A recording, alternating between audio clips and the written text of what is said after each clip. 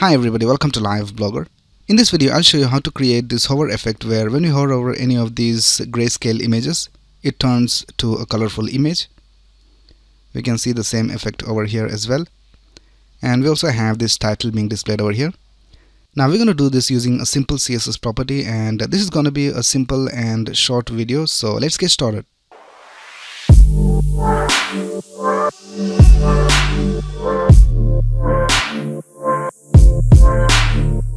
Alright, so here I have opened up a folder in VS Code and uh, I have this folder called images inside that. And in the images folder, we have two images which we're going to use in this uh, design. So let's start by creating an index.html file. And we'll also create a CSS file.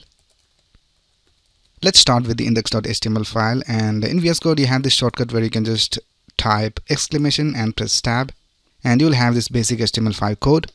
And let's also link our CSS file over here. So I'll just type link and press tab. And in the href I'll just type style.css and in the body let's create a division and we'll give a class of image container. And in that we will have a division with the class of image for each of the images.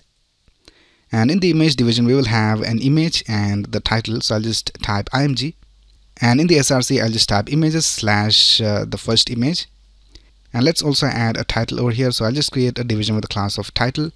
And here I'll just type title number one. And I'll just copy this uh, image division from here. And I'll just paste it one more time.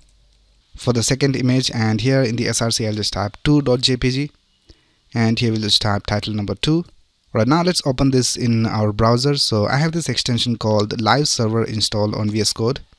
And once you install the extension you can just right click over here in the HTML and uh, click on open with live server. And here we can see our design is being displayed over here in the browser.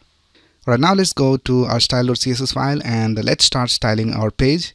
First of all let's target the image container. So I'll just type image container. And uh, I'll just give it a width of let's say 700 pixels. And uh, let's set the display to grid. And we will have two columns. So I'll just type grid template columns and here I'll just type 1fr and 1fr so this will have two columns with the same width. Now here you can see that the height and the width of the image itself is a lot higher. So let's change the height and the width of the img tag to 100% of the parent. So I'll just type image container img and I'll just type width equals 100% and height equals 100% and now you can see that the image is stretched a little bit so for that you can use a property called object fit and we'll set it to cover. And now we can see it looks alright. And let's also add a gap over here. So here in the image container, I'll just type gap and I'll just set it to 16 pixels. And let's bring it to the center. So I'll just type margin and for top and bottom, we will just have a margin of 24 pixels. And for left and right, we'll just type auto. And now we can see that it is in the center. Right now, let's style the image division. So here we can see we have this division with the class of image and in that we have the image. So let's type image container image and we'll set the border radius to 8 pixels. And this should give us rounded corners but since we have the img tag inside the image and it doesn't have the border radius so it's not being displayed over here. So for that you have to set the overflow to hidden in uh, the image class. And now we can see we have rounded corners now let's style the title and we want to position the title relative to the image division. So here in the image division, I'll just type position and we'll set it to relative. And now let's target the title. So I'll just type image container and uh, here I'll just type image title and let's set the position to absolute and we'll set the bottom position to 0 and now we can see the title is being displayed over here Let's also add some padding. So I'll just type padding of 12 pixels top and bottom and uh, 32 pixels left and right. And we'll set the background color to an RGBA value because uh, we need to have an opacity. So I'll just type 0, 0, 0 and uh, for the opacity I'll just type 0.9 and we'll set the color of the text to white and we'll set the font family to Roboto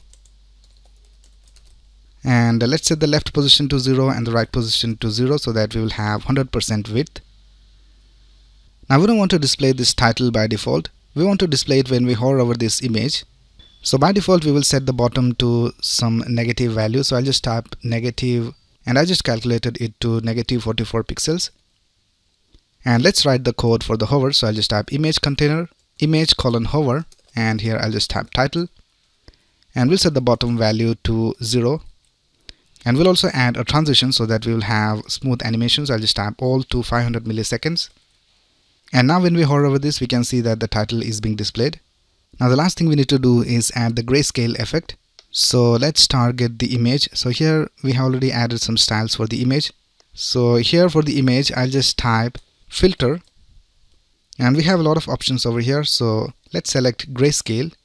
Now the highest value over here is 1 and the lowest value is 0 so now we can see that the image is in grayscale. Now let's add the hover effect. So I'll just type image container and image colon hover.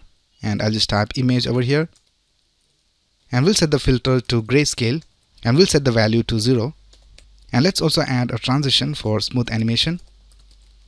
And now let's hover over this image. And now we can see that the image is turning to a colorful image. And when we go outside the image it turns back to grayscale so that's how you can create a grayscale hover effect for your images. Now in filter you have a lot of different options. So for example let's add an option called blur and let's set the value to let's say 3 pixels.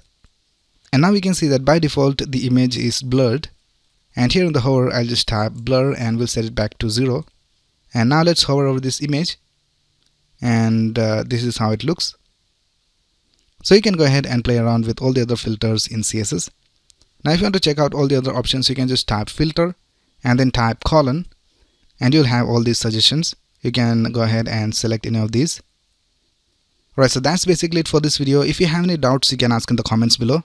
And if you like this video, please click on the like button and subscribe to this channel to get the latest video updates. Thanks a lot for watching. Have a nice day.